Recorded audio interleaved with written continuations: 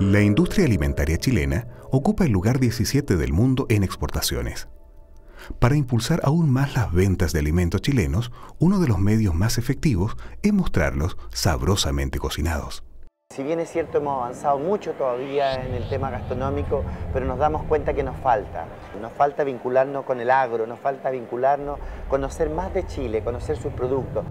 En el otoño de París de 2006, 20 personas visitaron durante seis días el Salón Internacional de la Agroalimentación con una idea fija en la mente, la reinvención de la cocina chilena. A meses de su regreso, la Asociación de Chef Le Toc Blanche, que encabezó la iniciativa, tuvo la oportunidad de mostrar sus avances en el tema. Mira, esto es un proyecto del Comité Agrogastronómico que es vincular los productos del campo con la gastronomía. Aquí hay un cordero, es un medallón de cordero que está hecho con, con merquén y tiene humitas. Y acá tengo una miloja de... El Comité Agrogastronómico se fundó en el 2005. Además de la Asociación de Chef, integra otras diversas entidades públicas y privadas.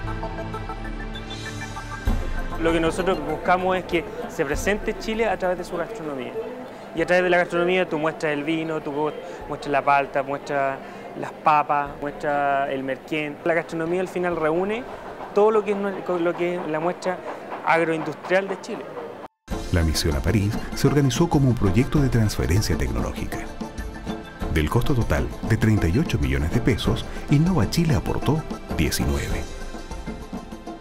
Que fueron esta misión y empresarios nunca habían estado en París. No debemos de olvidar que París, aparte de ser el país del amor, es el país también que realmente eh, ha llevado la delantera en todo el mundo en el ámbito gastronómico. Los chefs y los empresarios gastronómicos están empeñados en desarrollar una nueva gastronomía chilena. Su objetivo, contribuir a que Chile se transforme en una potencia agroalimentaria. En la cocina, innovar también es un buen negocio.